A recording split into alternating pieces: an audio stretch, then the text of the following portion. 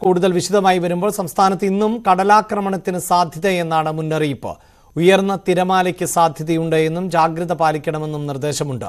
ഉച്ചയ്ക്ക് ശേഷം വേലിയേറ്റ സമയത്ത് കടൽ കയറും എന്നാണ് പ്രതീക്ഷിച്ചത് എങ്കിലും ആലപ്പുഴ ഉൾപ്പെടെയുള്ള തീരങ്ങൾ പൊതുവെ ശാന്തമായിരുന്നു. ശരണ്യ സ്നേഹജൻ ആണ് വാർത്തയുടെ വിശദാംശങ്ങളുമായി ചേരുന്നത്. ശരണ്യ ഇന്നലെ ഉച്ചയ്ക്ക് ശേഷം ശാന്തമാണ് എന്ന് പറയുമ്പോഴും ഇന്നും മുന്നറിയിപ്പുണ്ട്. തിരമാലകൾ ഉയർന്ന തിരമാലകൾക്ക് സാധ്യതയുണ്ട് എന്നാണ് പറയുന്നത്. ജാഗ്രത എത്രത്തോളം പുലർത്തേണ്ട സമയമാണ്?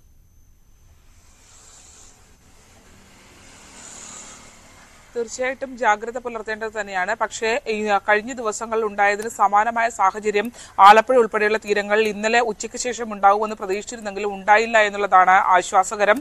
കാരണം ഇന്നലെ വൈകിട്ട് അഞ്ചു മണിയോടുകൂടിയാണ് വേലിയേറ്റ് വേലി വേലിയേറ്റ സമയം ഉണ്ടായിരുന്നത്. ആ സമയത്ത് വലിയ തോതിൽ കടലാക്രമണം ഉണ്ടാകുമെന്നുള്ള ഒരു പ്രതീക്ഷയിലായിരുന്നു മുന്നോട്ട് പോയിരുന്നെങ്കിൽ പോലും ആ ആശങ്കകൾ ഇല്ലാതാക്കിക്കൊണ്ട് കടൽ പൊതുവെ ശാന്തമായ ഒരു സാഹചര്യമാണ് ഉണ്ടായിരുന്നത്. നമുക്കറിയാം കഴിഞ്ഞ ദിവസങ്ങളിൽ ഉണ്ടായ ഇന്ത്യൻ മഹാസമുദ്രത്തിലും അറ്റ്ലാന്റിക് സമുദ്രത്തിലും ഉണ്ടായ ചില കാലാവസ്ഥ വ്യതിയാനങ്ങളുടെ ഭാഗമായി ന്യൂനമർദ്ദം അറ്റ്ലാന്റിക് സമുദ്രത്തിൽ രൂപപ്പെടുകയും അത് ഇന്ത്യൻ മഹാസമുദ്രത്തിലേക്ക് എത്തുകയും വടക്കോട്ട് സഞ്ചരിച്ച് കേരള തീരങ്ങളിൽ അത് പ്രതിസന്ധി സൃഷ്ടിക്കുകയുമാണ് ചെയ്തത്. അത്തരത്തിൽ ഇന്ത്യൻ മഹാസമുദ്രത്തിൽ ഏകദേശം പതിനൊന്ന് മീറ്ററോളം ഉയരത്തിൽ ഉണ്ടായി. ന്യൂനമർദ്ദത്തെ തുടർന്ന് ഉണ്ടായ കാറ്റും ഒപ്പം തന്നെ തിരമാലകൾ ഉയർന്നതുമാണ്. ആ ഒരു അതിന്റെ ഒരു പ്രതികരണം എന്ന രീതിയിലാണ് അത് തെക്കോട്ട് സഞ്ചരിച്ചുകൊണ്ട് ഇന്ത്യൻ മഹാസമുദ്രത്തിന്റെയും പ്രത്യേകിച്ച് കേരളത്തിന്റെ തെക്കൻ തീരങ്ങളിൽ പ്രതിസന്ധി സൃഷ്ടിച്ചത്. എന്തായാലും ആദ്യ ദിവസങ്ങളിൽ അതായത് കഴിഞ്ഞ ഞായറാഴ്ച ഉണ്ടായതിന് സമാനമായ ഒരു സാഹചര്യത്തിലേക്ക് പിന്നീട് തീരങ്ങൾ പോയില്ല എന്നത് ആശ്വാസകരമാണ്. പക്ഷേ പുറക്കാടടക്കമുള്ള ഇടങ്ങളിൽ മത്സ്യബന്ധന യാനങ്ങൾ ഈ തിരയിൽ ഒഴുകി പോവുകയും പല വള്ളങ്ങളുടെയും എഞ്ചിൻ തകരുകയും ഒക്കെ ചെയ്തിട്ടുണ്ട്. ഇരുപതോളം വീടുകൾക്ക് കേടുപാടുകൾ സംഭവിച്ചിട്ടുണ്ട് പുറക്കാട് എന്നുള്ളതാണ്. അതായത് പുറക്കാട് തന്നെയാണ് അഭിലാഷെ കഴിഞ്ഞ ദിവസം കടല ഉൾവലിയുകയും ചെയ്തിട്ടുള്ളത്. അത് ഈ ഒരു പ്രതിഭാസത്തിന്റെ കൂടി ഭാഗമായാണ്. ഈ കള്ളക്കടലിൽ നിന്ന് പ്രതിഭാസത്തിന്റെ കൂടെ ഭാഗമായാണ് കടൽ ഉൾവലിഞ്ഞത് എന്നുള്ളതാണ് ഇപ്പോൾ ശാസ്ത്രലോകം വിലയിരുത്തുന്നത്. അത്തരത്തിൽ ഉൾവലിഞ്ഞതിന് ശേഷമായിരുന്നു പിന്നീട് ഒരു കടലാക്രമണം ഉണ്ടായത്. അതുകൊണ്ട് തന്നെ ഈ പുറക്കാട വീടുകളിലേക്കൊക്കെ ഈ വലിയ തിരമാലകൾ അടിച്ചു കയറി ജനാലകളൊക്കെ പൊട്ടുകയും അത്തരത്തിലുള്ള കേടുപാടുകൾ ഉണ്ടാവുകയും ചെയ്തിട്ടുണ്ട്. ഒരു വീട് അമ്പലപ്പുഴ നീർക്കുന്നത് പൂർണമായി തകരുകയും ചെയ്തു. ഇത്തരം കാര്യങ്ങളെ സംബന്ധിച്ച് കണക്കെടുപ്പൊക്കെ സർക്കാരിന്റെ ഭാഗത്തു നിന്ന് ഇപ്പോൾ ജില്ലാ ഭരണകൂടത്തിന്റെ ഭാഗത്തു നിന്ന് ഉണ്ടാകുന്നുണ്ട്. എത്ര രൂപയുടെ നഷ്ടമാണ് ഉണ്ടായതെന്നുള്ള ഒരു വിലയിരുത്തൽ അവർ പുറത്തേക്ക് വിട്ടിട്ടില്ല. ഇതേ സമാനമായ സാഹചര്യം കൊല്ലത്തും ഉണ്ടായിരുന്നു. കൊല്ലത്തും ഇരുപതോളം വീടുകൾക്ക് നാശനഷ്ടം ഉണ്ടാകുന്ന ഒരു സാഹചര്യം ഉണ്ടായിരുന്നു. എന്തായാലും ഇന്നലെ വൈകിട്ട് ഇന്നലെ വൈകിട്ട് ഇത്തരത്തിൽ ഒരു വേലിയേറ്റം ഉണ്ടാകുമെന്നുള്ള സൂചനകൾ ഉണ്ടായിരുന്നെങ്കിൽ പോലും പൊതുവെ കടൽ ശാന്തമായിരുന്നു എന്നത് തീരത്ത് ആശ്വാസം നൽകുന്നതാണ്. ഒപ്പം തന്നെ ഇന്നലെ വലിയ തോതിൽ കടലാക്രമണം ഉണ്ടായ പ്രദേശങ്ങളിൽ മത്സ്യലഭ്യത ഉണ്ടായി എന്നുള്ളതാണ്. മത്തി ഉൾപ്പെടെയുള്ള മത്സ്യങ്ങൾ ഇന്നലെ ആലപ്പുഴയുടെ തീരങ്ങളിൽ പലയിടത്തും ഇത്ര രൂക്ഷമായ കടലാക്രമണം ഉണ്ടായിടത്ത് ലഭ്യമായിട്ടുണ്ട്. ഈ മറ്റൊരു പ്രതിസന്ധി ആലപ്പുഴയിൽ നേരിടുന്നത് തീരദേശ റോഡിലുള്ള യാത്രയാണ്.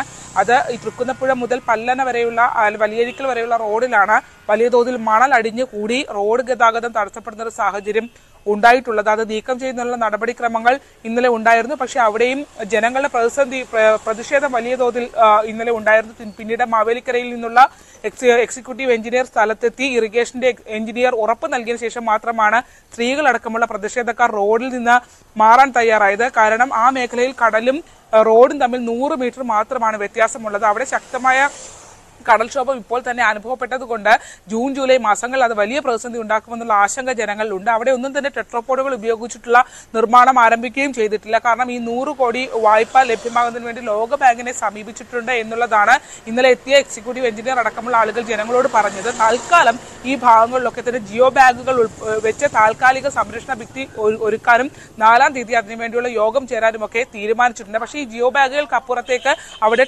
ടെട്രോപോഡുകൾ ഉപയോഗിച്ചുള്ള ശാസ്ത്രീയമായ നിർമ്മാണം ഉണ്ടായില്ലെങ്കിൽ വരുന്ന കടൽക്ഷോഭ സമയത്ത് അത് വലിയ പ്രതിസന്ധി ഉണ്ടാക്കും. ഈ രണ്ട് മാസങ്ങൾ അത്തരത്തിലുള്ള തയ്യാറെടുപ്പുകൾ വേണമെന്നുള്ള ആവശ്യം ജനങ്ങളുടെ ഭാഗത്തുനിന്ന് ഉയരുകയും ചെയ്യുന്നുണ്ട്.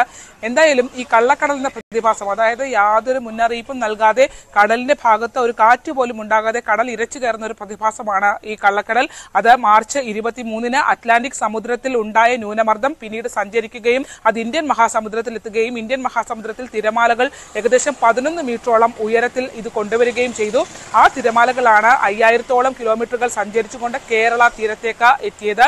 കേരള തീരത്ത് എത്തി വലിയ തോതിൽ അത് ഇരച്ചു കയറുകയും ഒരു സൂചന പോലും നൽകാതെ നമ്മുടെ തീരങ്ങളിലുള്ള മത്സ്യബന്ധന യാനങ്ങൾ ഉൾപ്പെടെയുള്ള അവയ്ക്ക് കേടുപാടുകൾ ഉണ്ടാക്കുകയും വീടുകൾക്ക് നാശനഷ്ടം ഉണ്ടാക്കുകയും ചെയ്തത്. എന്തായാലും ഇന്ന് ചൊവ്വാഴ്ച പുലർച്ചെ വരെ ഈ പ്രതിഭാസം ഉണ്ടാകുമെന്ന് പറഞ്ഞിരുന്നുവെങ്കിലും ഇപ്പോൾ ഇന്നലെ വൈകി ഉച്ചയ്ക്ക് ശേഷം കടൽ ശാന്തമാണ് എന്നത് ആശ്വാസകരമാണ്. എങ്കിൽ പോലും മത്സ്യത്തൊഴിലാളികൾക്ക് കടലിലേക്ക് പോകുന്നതിന് വിലക്കുണ്ട്. അത്തരത്തിൽ തീരപ്രദേശം ആലപ്പുഴ ബീച്ച് അടക്കമുള്ള മറ്റ് സംസ്ഥാനത്തിന്റെ മറ്റ് ബീച്ചുകളിലൊക്കെ തന്നെയും കടലിലേക്ക് ഇറങ്ങിയുള്ള ഒരു വിനോദ പരിപാടികളും സർക്കാർ അനുവദിക്കില്ല. അതെല്ലാം തന്നെ നിരോധിച്ചിട്ടുണ്ട്. ഒപ്പം തന്നെ കടലിലേക്ക് ഇറങ്ങരുത് തീരത്ത് അല്ലെങ്കിൽ ബീച്ചിലെത്തുന്ന ആളുകൾ തീരത്തേക്ക് ഇറങ്ങരുതെന്നുള്ള നിർദ്ദേശവും ഉണ്ട് സർക്കാരിന്റെ ഭാഗത്തു നിന്ന്. നിലവിൽ ആശ്വാസത്തിന്റെ വാർത്തയാണ് ശരണ്യ സ്നേഹ ഞാൻ പങ്കുവയ്ക്കുന്നത്. എന്നാൽ ഇന്നും ഇത്തരത്തിലുള്ള തിരമാലകൾ അതിശക്തമായി ആഞ്ഞടിക്കുവാനുള്ള സാധ്യതയുണ്ട്. അതുകൊണ്ട് തീരപ്രദേശത്തുള്ളവർ ജാഗ്രത പുലർത്തണമെന്ന നിർദ്ദേശമാണ് കാലാവസ്ഥാ നിരീക്ഷണ കേന്ദ്രമടക്കം നൽകിയിട്ടുള്ളത്. അതേസമയം തിരുവനന്തപുരത്ത് തീരദേശ മേഖലയിലുണ്ടായ കടൽക്ഷോഭത്തെ തുടർന്ന് നെയ്യാറ്റിങ്കര താലൂക്കിലെ അമ്പത്തിമൂന്ന് പേരെയാണ് രണ്ട് ദുരിതാശ്വാസ ക്യാമ്പുകളിലേക്ക് മാറ്റിയിട്ടുള്ളത്. കുളത്തൂർ വില്ലേജിലെ പൊഴിയൂർ ഗവൺമെന്റ് യു പി സ്കൂളിലും കരുംകുളം വില്ലേജിലെ പുല്ലുവിള ലിയോ തർട്ടീൻത്ത് സ്കൂളിലുമാണ് ക്യാമ്പുകൾ തുറന്നിട്ടുള്ളത്. പതിനാല് കുടുംബങ്ങളാണ് പൊഴിയൂർ ഗവൺമെന്റ് യു പി സ്കൂളിൽ ഉള്ളത്. പതിനൊന്ന് പുരുഷന്മാരും പതിനൊന്ന് സ്ത്രീകളും ഒരു കുട്ടിയും അടക്കം ഇരുപത്തിമൂന്ന് പേർ ഇവിടെയുണ്ട്.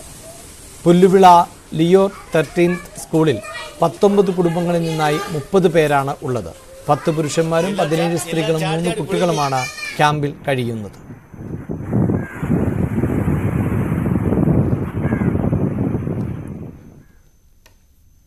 അതേ